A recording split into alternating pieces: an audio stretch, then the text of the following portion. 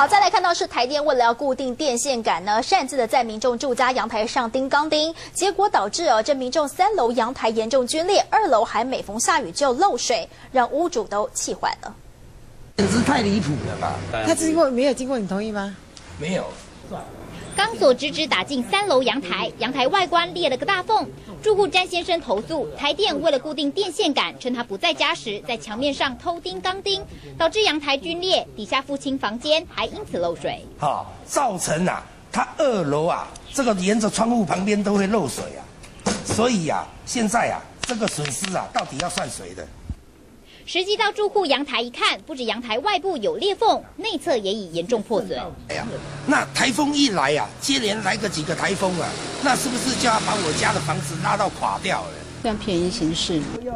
台电没经过屋主同意，就擅自把固定电线杆的钢索钉在住户的阳台外墙。